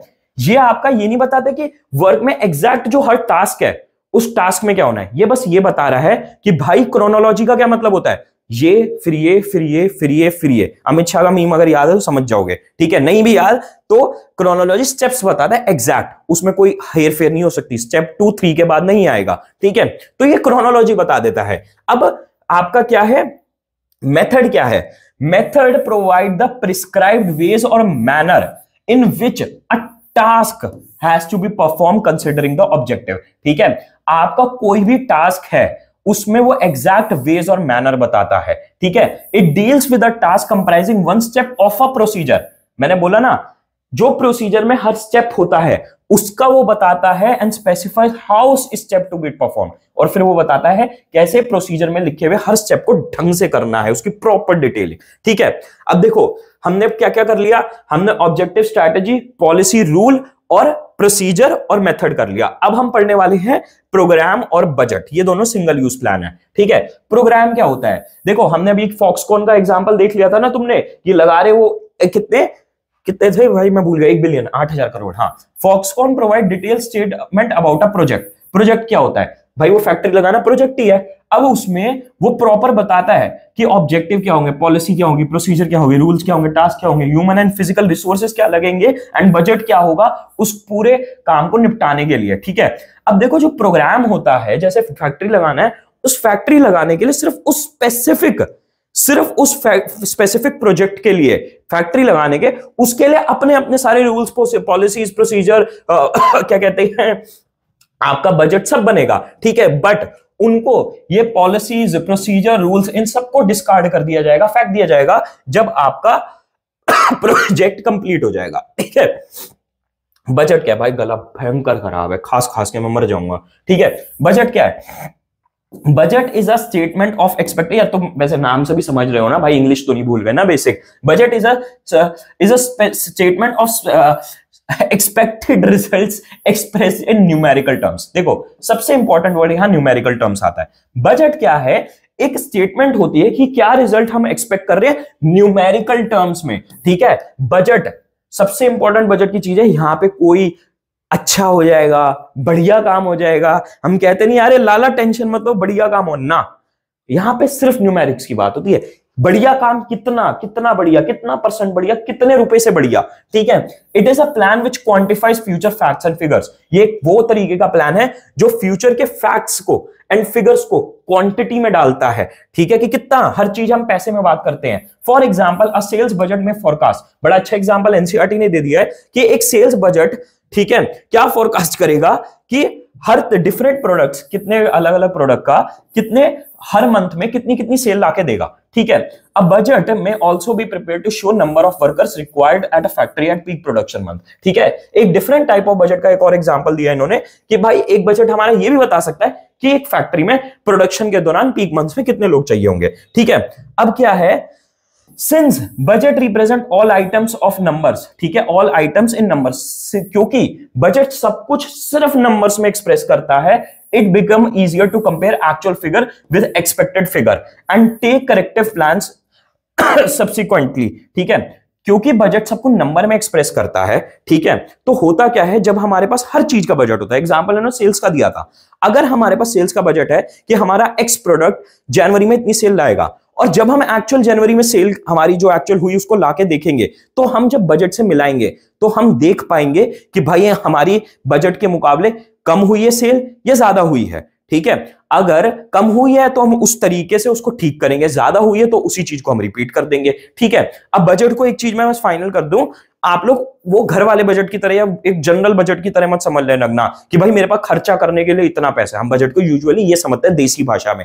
यहाँ पे वो वाले बजट की बात नहीं करेंगे बजट वो हर चीज़ है जो कि एक प्लान है, जो कि आपकी उस फैक्ट्स और फिगर्स को क्वांटिफाइबल यानी नंबर्स में पुट करता है। हर चीज़ का बजट अब देखो ये क्या कहते हैं हमने, क्या बोला? कि कितने लोग चाहिए होंगे एक मंथ में हमारी फैक्ट्री के पीक प्रोडक्शन के टाइम इसमें कोई, हम ये थोड़ी ना देख रहे हैं, हमारा कितना खर्चा है, नहीं है। ये बस नंबर्स में बता रहे कि फैक्ट्स एंड फिगर्स को, ठीक है? अब सुनो लिमिटेशन ऑफ़ प्लानिंग का क्या मतलब हुआ? प्लानिंग में क्या कमियाँ होती हैं? अब सबसे पहले तो एक बात ये दिमाग में बिठा लो इस टॉपिक को पढ़ने से पहले। भाई, आप लोगों के प्लानिंग में बहुत कमियाँ पड़ेंगे पर इसका मतलब ये नहीं है प्लानिंग होगी नहीं। आपको प्लानिंग करनी नहीं चाहिए। चाहिए। हम ये टॉपिक इस पॉइंट ऑफ़ व्यू से पढ़ रहे हैं कि प्लानिंग करते हुए क्या चीज़ों से आपको बचना चाहिए, क्या चीज़ें दिमाग में रखनी चाहिए। अब सुनो, भूल जाओ हम प्लानिंग पढ़ रहे हैं, हम क्लास ट्वेल्थ के बिज़नेस स्टडीज़ पढ़ रहे हैं। मैं तुम्हें एक केस स्टडी दिखा रहा हूँ, इसको तुमने समझ लिया ना तो इस टॉपिक को पूरा एकदम से समझ जाओगे और कभी ज़िंदगी में भी नहीं भूलोगे। क्या टॉपिक है केस स्टडी है हमारी?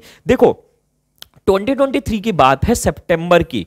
भाई जीएसटी अथॉरिटी आती है ड्रीम इलेवन के पास, जो कि आप लोगों को पता हो शायद, एक फैंटेसी स्पोर्ट्स कंपनी है, जहाँ पे लोग जाते हैं और लीगल वे में छोटे छोटे अमाउंट्स की बेट लगाते हैं। बहुत एड्स तुमने देखे होंगे कि भाई ड्रीम इलेवन पे जाके टीम बना लो। ठीक, अब क्या है इनको, इन्होंने चालीस हज़ार करोड़ का नोटिस भेजा कि भाई तुमने इतना टैक्स की चोरी करी है, ये टैक्स भरो। और आपको पता है ड्रीम इलेवन की टोटल कंपनी की वैल्यू ही लगभग sixty five thousand crore rupees है। पर ये हुआ क्यों? इन्होंने टैक्स का नोटिस क्यों भेजा? क्योंकि उससे लगभग तीन चार महीने पहले ही ना, सरकार एकदम नया रूल लेके आई थी कि भैया, आप जो स्पोर्ट्स फैंटेसी ये जो एप्स हैं वो जो बेटिंग करवा रहे हो लोगों को, इस पे तुम्हें कोई टैक्स नहीं भरा तुमने आज तक, ठीक है? अब तुम इतना कमा रहे तो हम भी तो थोड़ा सा कमा ले। इन्होंने आके कहा कि तुम्हारी ऐप पे जितना भी अमाउंट लोग जीतेंगे, उस पर अट्ठाईस परसेंट टैक्स तुम चार्ज करो लोगों से और वो अमाउंट हमें आके दोगे।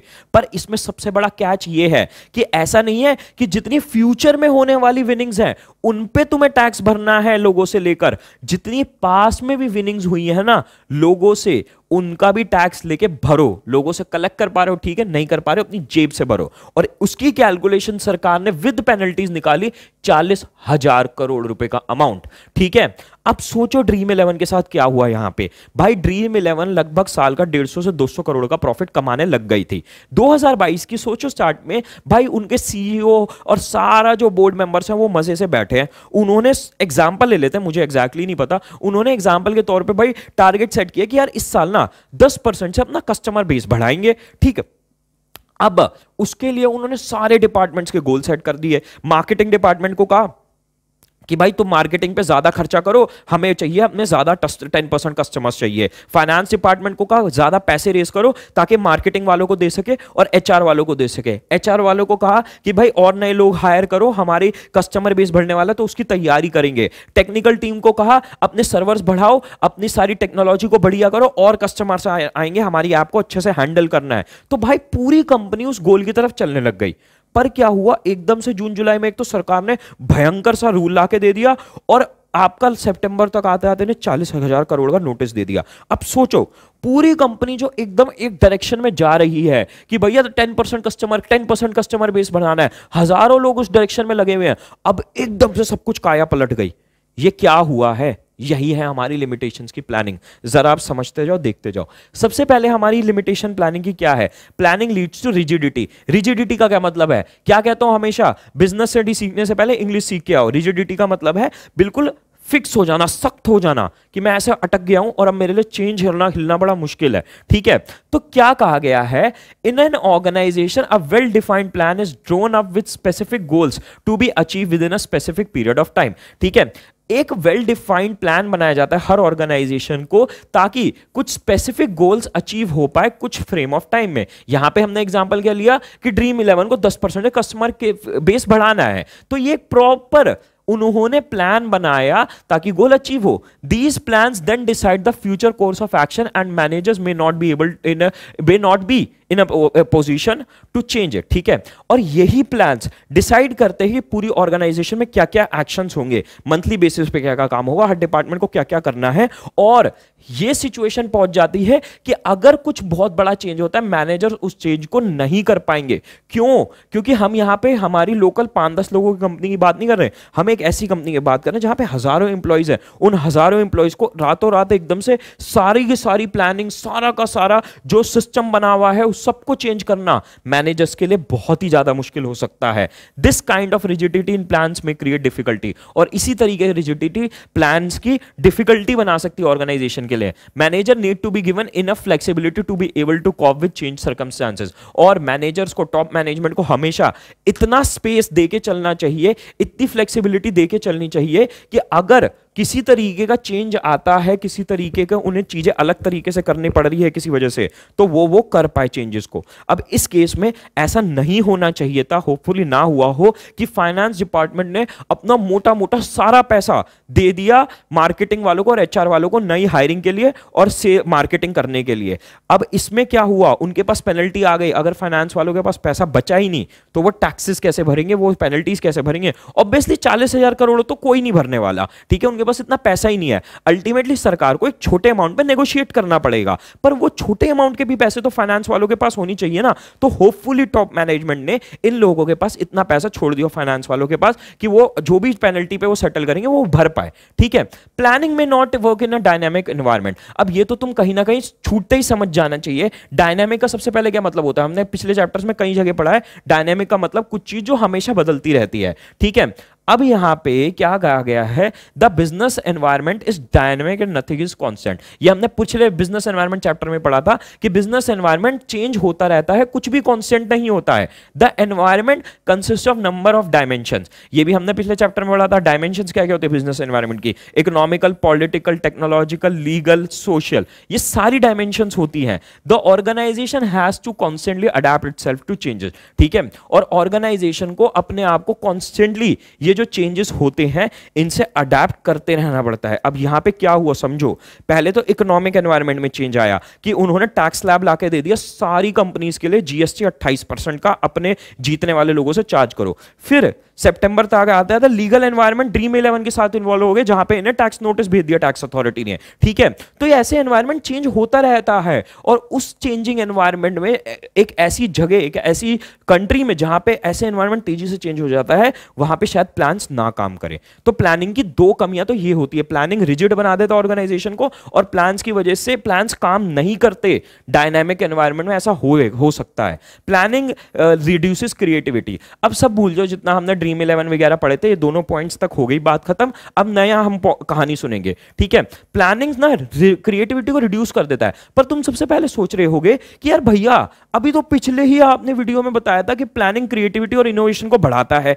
देखो, वहाँ पे इस बात को कहने का अलग कॉन्टेक्स्ट था, ठीक है? यहाँ पे अलग कॉन्टेक्स्ट है। मतलब इंसान का नाम चिंटू है, पर चिंटू नाम के दो इंसान है, ठीक है? एक चिंटू ए है, एक चिंटू बी है तो क्रिएटिविटी बढ़ाता है प्लानिंग ठीक है? पर प्लानिंग क्रिएटिविटी कम भी कर देता है, एक अलग पॉइंट ऑफ़ व्यू से कैसे? सुनो मैं ना तुम्हें कहानी बताता हूँ, फिर तुम्हें सब कुछ समझ में आ जाएगा। ये मैंने पहले भी बताई है। देखो, जब मैं कॉलेज में था ना सेकेंड ईयर में मैं एक जगह इंटर्नशिप करता था एक कंपनी में। वहाँ पे मुझे लगभग पाँच हज़ार रुपए का स्टाइपेंड मिलता था। वहाँ पे हमारा क्या काम होता था कि अलग अलग वेबसाइट्स पे जाते थे हम। उनसे क्या करते थे? आ, क्या कहते हैं हमें एक कैटेगरी पकड़ा देते थे बिज़नेस की। फॉर एग्ज़ाम्पल आज दे दी कि भाई गांधीनगर में जितने भी फ़ैशन वाले लोग हैं ना उनकी दुकानों के हमारा एक्सेल दी है उसमें उनके नाम एड्रेस फ़ोन नंबर और बाकी सारी डिटेल्स भरो।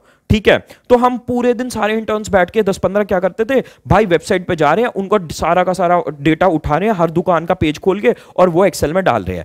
अब क्या हुआ? मैं क्योंकि टेक्निकल बैकग्राउंड से था, मैंने एक आइडिया बनाया। मैंने कहा, यार, हम बार बार सारा एक काम रिपीट क्यों करे जा रहे हैं? हम क्यों बार बार वेबसाइट पे जा रहे हैं कॉपी पेस्ट कर रहे हैं कॉपी पेस्ट कर रहे हैं, फिर नेक्स्ट पेज पे नेक्स्ट पेज पे जाके कॉपी पेस्ट कर रहे हैं? मैंने एक सॉफ्टवेयर बनाया छोटा सा, जिसमें कि क्या होता था?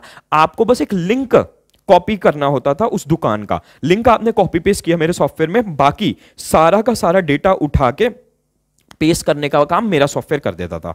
अब ये सॉफ्टवेयर जाके मैंने प्रपोज किया हमारे वहाँ के टॉप मैनेजमेंट को। उन्होंने मेरे को कहा कि यार ये सॉफ्टवेयर तो बढ़िया है, पर मैंने उनसे नेगोशिएट किया कि यार अगर मैं सॉफ्टवेयर यूज़ करने बैठ जाऊँ, आपके ऑर्गेनाइजेशन में आपको दूँगा तो इसका मुझे क्या बेनिफिट होगा कि आप मुझे भी कुछ अमाउंट देंगे? और उन्होंने मेरे को जो जलील किया, वो literally they came at the level of abusing me कि तेरी हिम्मत कैसे हुई पैसे मांगने की? And I left that organization कहने का मतलब क्या है यहाँ पे? प्लानिंग क्रिएटिविटी को रिड्यूस कर देता है। कैसे? क्योंकि जो प्लान्स बनाते हैं, जो काम करने का तरीका बनाते हैं और पूरे गोल्स जो लोग सेट करते हैं वो एक्चुअल काम नहीं करते। एक्चुअल काम कौन लगते करते हैं? एक्चुअल काम वर्कफोर्स करती है लोअर मैनेजमेंट करती है मिडिल मैनेजमेंट को पता होता है। पर टॉप मैनेजमेंट को एक्चुअल काम कैसे हो रहा है, उन्हें पता ही नहीं। मैंने जो उनको आइडिया जाके प्रपोज किया, उन्हें आइडिया ही नहीं लगा कि मेरे सॉफ्टवेयर के थ्रू जो काम दस घंटे में होता था, वो काम दो घंटे में हो जाएगा। पर उन्हें इस चीज़ का आइडिया नहीं कि मैंने कितनी तगड़ी उन लोगों के लिए एफिशिएंसी बनाई है। इसलिए उन्होंने मेरे आइडिया को बिल्कुल सिरे से खारिज कर दिया, जैसे ही बात थोड़े से पैसे किया क्योंकि उन्हें आइडिया नहीं लगा कितना पैसा मैं बचा रहा हूँ उनका। ठीक है? तो अब यहाँ पे क्या हुआ है? अब समझो इस बात को। Planning is an activity which is done by the top management usually the rest of the members just implement this plan planning हमेशा टॉप मैनेजमेंट करती है और बाकी जितने भी मेंबर्स होते हैं ऑर्गेनाइजेशन में, वो सिर्फ़ प्लान को इंप्लीमेंट करते हैं। ठीक है? Most of the time employees do not even attempt to formulate a plan they only carry out orders majority times employees क्या होते हैं? वो काम, वो कोई प्लान बनाते भी नहीं है, वो सिर्फ़ ऑर्डर्स यानी जो प्लान ऊपर से आते हैं, उनको फॉलो करते हैं। हम भी एज एन इंटर्न क्या कर रहे थे? उन्होंने बताया कॉपी पेस्ट करो। हम कॉपी पेस्ट करने बैठ गए और मेजोरिटी ऑर्गेनाइजेशन में अप्रिसिएशन भी होता है इंप्लॉइज को कि भाई मैंने जैसे इनोवेटिव सोल्यूशन दिया तो बहुत कंपनीज़ होती हैं और वो कंपनी बंद भी हो गई। मैं तुम्हें मज़े की बात बताऊँ, आज की डेट में एडू कैप्टन उस कंपनी से ज़्यादा बड़ी ऑर्गेनाइजेशन है, वो बंद हो चुकी है, ठीक है? तो ऐसी कंपनीज़ के फिर हाल होते हैं, ठीक है? Planning involve huge cost plans बनाने में बहुत मोटे खर्चे आ जाते हैं, बहुत मोटे बिल आ जाते हैं। मैं तुम्हें एक मज़े की बात बताता हूँ। भाई, मैं एस में जब था ना और सुखदेव में भी मैं पढ़ा ठीक, वहाँ पे ना कंसल्टेंट्स आते हैं। बड़ी बड़ी कंपनीज़ ना कंसल्टेंट्स हायर करते हैं अपनी सारे प्लान्स बनाने के लिए, अपनी कोई प्रॉब्लम के सोल्यूशन के लिए और बहुत कोई भी दिक्कत आती है ना, उसके लिए कंपनीज़ जो बहुत बड़ी होती है, वो कंसल्टेंट्स हायर कर लेते हैं। अब कंसल्टेंट्स कौन कौन से होते हैं? McKinsey Bain Boston consultancy group ऐसी ऐसी कंपनीज़ होती है। एसआरसीसी और सुखदेव में ना ये कंपनीज़ आके पता है फ्रेशर्स को कितने पैकेजेस देती है? भाई 18 लाख रुपए का मैकेजी दे देती है। बेन 14 लाख के दे रही है। पैराथोन आके 32 लाख 32 लाख रुपीस का पैकेज दे रही है बच्चों को। ठीक है? अब ये कंपनीज़ ऐसा क्यों करती हैं? क्योंकि ये कंपनीज़ जब दूसरी कंपनीज़ के पास कंसल्टेंसी के लिए जाती हैं बेसिकली मैकेजी को कोई दूसरी कंपनी मानो कोलगेट ने हायर किया कि भैया हमारे बिज़नेस में प्रॉब्लम आ रही है या हमारा ये प्लान बनवाना बनवाओ आके ठीक है? पता है कितना हायर करती है? मिनिमम मिनिमम इनका होता है साढ़े तीन करोड़ रुपए का बिल सबसे बेर मिनिमम मतलब ये एक आ, क्या कहते हैं वैसे तो ओपनली रिवील नहीं कर रखा इन्होंने कोई ऐसे रेट कार्ड बट जो इंडस्ट्री एक्सपर्ट्स हैं वो बताते हैं मिनिमम साढ़े तीन करोड़ और अप टू पचास करोड़ करोड़ रुपए तक के इनके बिल्स चले जाते हैं। ठीक है? अब ये बच्चों को इतनी फ्रेशर्स को अच्छी सैलरी क्यों देते हैं? क्योंकि ये खुद क्लाइंट से इतना अच्छा चार्ज कर पाते हैं राइट और इस बात को समझो कि भाई प्लानिंग कितना कॉस्टली प्रोजेक्ट हम कितना कॉस्टली बिज़नेस हो जाता है इस लेवल पे जब कंपनीज़ बड़ी हो जाती हैं। तो यही यहाँ पे कहा गया है। When plans are drawn huge cost are involve in their formation बहुत मोटी कॉस्ट लगती है। कंसल्टेंट्स को हायर किया जाता है और एक्सपर्ट्स को हायर किया जाता है। These may be in terms of time and money ये हो सकता है टाइम के भी कॉस्ट में और मनी के भी कॉस्ट में। For example checking accuracy of facts में involve a lot of time detail plan require scientific calculation to ascertain facts and figures ठीक है? इन्होंने एक अलग तरीके, मैंने कंसल्टेंट का एग्जांपल दिया एनसीआरटी ने साइंटिफिक कैलकुलेशन बोला है कि निकालनी पड़ती है फैक्ट्स और फिगर को कंफर्म करने के लिए। The cost incurred sometimes may not justify the benefits derive from the plan और कभी कभार ये हो जाता है कि प्लानिंग करने में ही इतना खर्चा आ जाता है कि जितना उससे बेनिफिट होता है, वो कम होता है। ठीक है? अब सुनो नेक्स्ट हमारी क्या लिमिटेशन है? Planning is a time consuming process ठीक है? ये ना मुझे ऐसा लगता है जिसने एनसीईआरटी लिखी ना, उसने थोड़ा सा मीम प्ले कर दिया। मतलब बड़ी फनी सी बात लिखी है sometimes plan to be drawn plans to be drawn up take so much of time that there is not enough much time left for their implementation. कभी कभार प्लानिंग करने में इतना टाइम लग जाता है कि प्लान को इंप्लीमेंट करने का प्लान के दिए हुए एक्शन को करने का टाइम ही नहीं बचता। कितनी फनी सी बात होगी। सोचो कि बिल्डिंग का मैप बनाने में इतना टाइम लग गया बिल्डिंग का मैप बनाने में लग गया, एक साल बिल्डिंग बन रही है दो महीने में। तो कितना ट्रॉल मूवमेंट है राइट लास्ट है planning does not guarantee success planning का मतलब ये ये नहीं है कि आपने प्लान बना लिया और आपका वो प्लान सक्सेसफुल होगा ही होगा। ठीक है? अब इसके यहाँ पे तीन रीजन दिए हुए हैं कि प्लानिंग क्यों सक्सेसफुल ना हो। Any plan needs to be translated into action और it becomes meaningless first reason ये दिया है कि हर प्लान को आपको एक्शन मैंने जिम, मैंने प्लान बनाया कि मेरे को वेट कम करना है। मैंने जिम की खरीद ली मेंबरशिप भी। इतना तक मैंने प्लान बना लिया। पर अगर मैं एक्शन ही नहीं कर रहा तो भाई क्या हुआ? मेंबरशिप बेकार हो गई। Plan managers may have tendency to rely on previously tried and tested successful plan it is not always true that just because a plan work has work before it will work in again ठीक है? ये second reason है कि managers की अक्सर आदत क्या होती है कि वो वही प्लान यूज़ करते हैं जो पिछले साल या पिछले सालों में वर्क कर रहे थे। पर ज़रूरी नहीं है कि पिछले साल जो प्लान वर्क किया था वो इस साल भी करेगा, क्योंकि बिज़नेस एनवायरनमेंट और बिज़नेस की जो सारे कॉम्पिटिटर्स और सारी चीज़ें होती हैं, वो बदल जाती हैं। ठीक है? Last besides there are so many unknown factors to be consider ठीक है? थर्ड पॉइंट ये है कि प्लान जो बिज़नेस एनवायरनमेंट होता है, वो इतने सारे फैक्टर्स प्लान जो बनते हैं, वो इतने सारे फैक्टर्स पे बनते हैं और कितना भी सोच लो, कितनी भी प्लानिंग कर लो, ज़रूरी नहीं है आप सारे फैक्टर्स को कंसिडर कर पाओ। तो अनसर्टेनिटी इतनी ज़्यादा होती है कि प्लान फेल हो सकता है। ये तीन रीजन होते हैं कि प्लान आपका ना सक्सेसफुल हो। ठीक है? यहाँ पे हमारा लिमिटेशन ऑफ़ प्लानिंग का टॉपिक खत्म होता है। सुनो सुनो सुनो सुनो। अगर एंड तक वीडियो देखिए तो समझ भी आया है और पसंद भी आया है। अगर मैंने इतनी मेहनत करी है, रात के एक बजे बैठ के वीडियो बना रहा हूँ तो तुम इतनी सी मेहनत कर दो वीडियो पॉज करके लाइक कर दो और कमेंट्स में ज़रूर बताना कैसा लगा मटेरियल और बहुत ही मेरे दिल से दुआ मिलेगी। तुम्हारे दस नंबर सिर्फ़ मेरी दुआ से फालतू आएँगे। अगर तुम जाके अपने दोस्तों के व्हाट्सएप ग्रुप पे इसको शेयर कर दोगे। ठीक है गाइज़ तो best of luck and bye